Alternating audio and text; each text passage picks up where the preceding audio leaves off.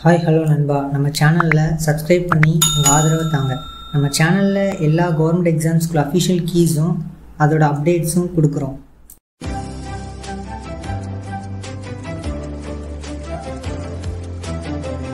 Department of economics and statistics அப்படிங்கிற டிபார்ட்மெண்ட்டில் இருந்து ரெக்குயர்மெண்ட் விட்டுருக்காங்க.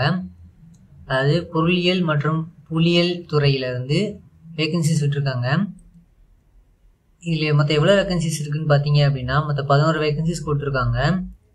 ஸோ அந்த பதினோரு வேகன்சிஸ்க்கும் இந்த ரெக்குயர்மெண்ட் நோட்டீஸ் வந்து அறிவிக்கை எண் வந்து ஒன்று ரெண்டாயிரத்தி இருபத்தொன்று அப்படின்னு சொல்லிட்டு எட்டு ஒன்பது ரெண்டாயிரத்தி இருபத்தொன்று அன்னைக்கு பப்ளிஷ் பண்ணியிருக்காங்க. ஸோ அவங்களுடைய அட்ரஸ் முதற்கொண்டு கீழே கொடுத்துருக்காங்க. அண்ணா சாலையில் இருக்குதுன்னு சொல்லிட்டு. ஓகேவா கீழே என்ன போஸ்ட் கொடுக்குறாங்க அப்படின்னா அலுவலக உதவியாளர் அதாவது ஆஃபீஸ் அசிஸ்டன்ட் சொல்லுவாங்கள்ல அந்த வேகன்சிக்கு வந்து இந்த நோட்டிஃபிகேஷன் வந்து இஷ்யூ பண்ணியிருக்காங்க. சம்பளத்தை பொறுத்த வரைக்கும் பார்த்தீங்க அப்படின்னா பதினஞ்சாயிரத்தி எழுநூறுலேருந்து ஐம்பதாயிரம் வரைக்கும் உங்களுக்கு சேலரி வரும்னு சொல்லியிருக்காங்க. அப்புறமா ஏஜ் பொறுத்த வரைக்கும் பார்த்தீங்க அப்படின்னா ஒன்று மூணு ரெண்டாயிரத்தி இருபத்தொன்று அன்னைக்கு உங்களுக்கு பதினெட்டு வயசு ஆயிருக்கணும் அப்படிங்கிறது சொல்லியிருக்காங்க. அதுக்கப்புறமா எட்டாம் வகுப்பு படிச்சிருந்தாலே போதும். எட்டாம் வகுப்புலேருந்து டிகிரி நீங்கள் என்ன முடிச்சிருந்தாலும் சரி நீங்களும் எலிஜிபிள் அப்படின்னு சொல்லிட்டு மென்ஷன் பண்ணியிருக்காங்க.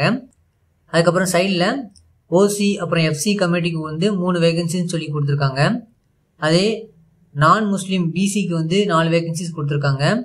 எம்பிசி அண்ட் டிசிக்கு ரெண்டு வேகன்சிஸ் கொடுத்துருக்காங்க. எஸ்சிக்கு ஒரு வேகன்சி கொடுத்துருக்காங்க. எஸ்டிக்கு ஒரு வேகன்சி கொடுத்துருக்காங்க ஓகேவா அப்புறமா ஏஜ் ரிலாக்ஸேஷன் பொறுத்த வரைக்கும் பார்த்தீங்க அப்படின்னா பிசி முஸ்லீம்ஸ்க்கு வந்து அதிகபட்சம் முப்பத்தி ரெண்டு வயசு வரைக்கும் அப்ளை பண்ணலாம். அதே எஸ்சிக்கு வந்து முப்பத்தஞ்சு வயசு வரைக்கும் அப்ளை பண்ணலாம்.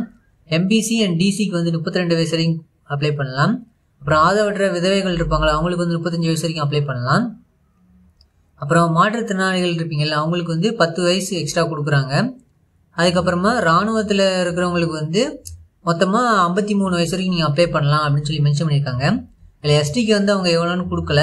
ஸோ அதுவும் எஸ்சியோட சேர்த்து தான் வரும். ஸோ அவங்களுக்கும் முப்பத்தஞ்சு வயசு தான் இருக்கும் ஓகேவா அப்புறமா கீழே வந்து அஹ், கல்வி தகுதின்னு சொல்லிட்டு மேலே கொடுத்தது தான் கொடுத்துருக்காங்க.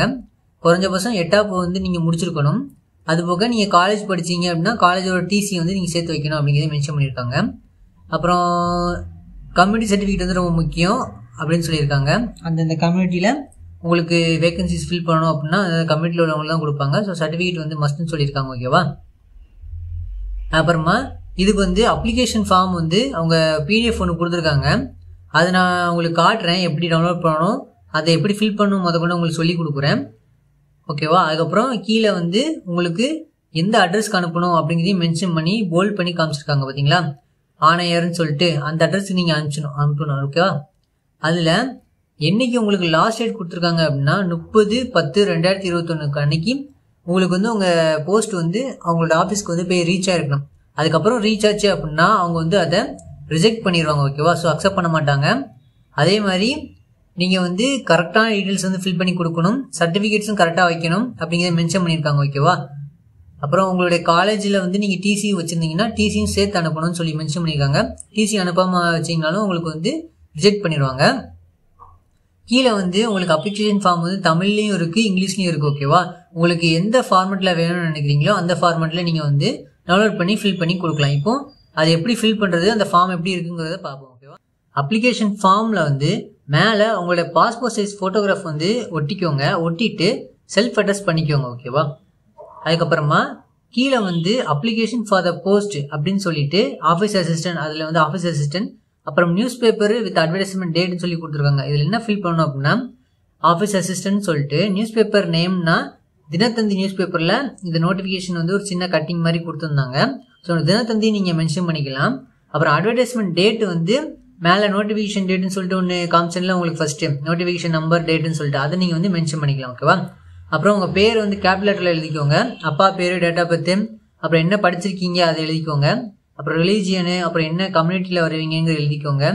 அப்புறமா உங்கள் பெர்மனண்ட் அட்ரஸு கம்யூனிகேஷன் அட்ரஸு அது எல்லாத்தையுமே எழுதிக்கோங்க ஓகேவா அப்புறம் பத்தாவது பாயிண்ட் என்ன அப்படின்னா உங்கள் மேலே எதுவும் கேஸ் இருக்கா பெண்டிங்கில் அப்படின்னு சொல்லிட்டு கேட்டிருக்காங்க போலீஸ் ஸ்டேஷனில் இருந்தது அப்படின்னா எஸ்ன்னு கொடுங்க. அப்படி எஸ் கொடுத்தீங்க அப்படின்னா நீங்கள் வந்து எலிஜிபிள் கிடையாது.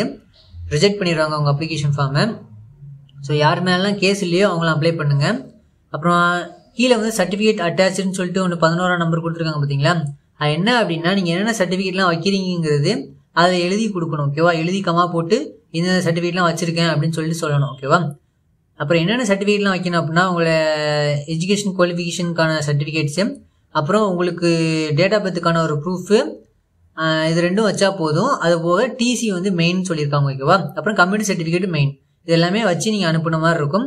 அதில் வந்து உங்கள் அப்ளிகேஷன் சைனு எல்லாமே கொடுத்துக்கோங்க ஓகேவா ஸோ இது எல்லாமே முப்பது பத்து ரெண்டாயிரத்தி இருபத்தொன்னுக்குள்ளே அவங்க ஆஃபீஸ்க்கு வந்து ரீச் ஆகணும்.